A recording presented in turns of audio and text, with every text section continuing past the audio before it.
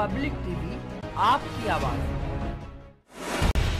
मुरादाबाद की जनता इस बार इतिहास रचने जा रही है और पिछले सारे रिकॉर्ड तोड़ने जा रही है इन आप वोट डालना है तो वोट डाल दिया। अपना वोट डाल के अभी निकले हैं। क्या अपील करेंगे मुरादाबाद की आवाम से अपील करेंगे कि एक बार इस खादिम को अपने मौका दें अगली बार जब आपके पास आऊँगा तो अपने काम के नाम पर वोट मांगने आऊँगा हैं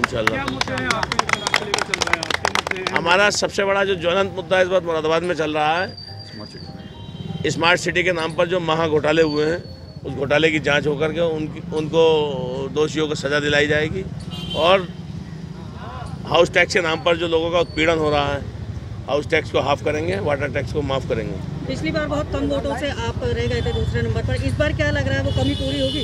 इस बार इंशाल्लाह इतिहास रचने जा रहा है मुरादाबाद। आप देखिएगा। आपने प्रेस कॉन्फ्रेंस की थी जिला प्रशासन पर भी कई गंभीर आरोप लगाए थे। अब क्या लगता है आपको प्रशासन का सहयोग मिला अभी भी हालात ऐसे हैं कि अभी अंदर दो मशीनें करीब पौन घंटे से ख़राब थी।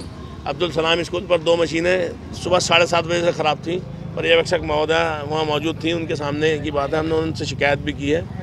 तो प्रशासन का सहयोग आप देख सकते हैं, क्या मिल रहा है। पब्लिक टीवी, आपकी आवाज़।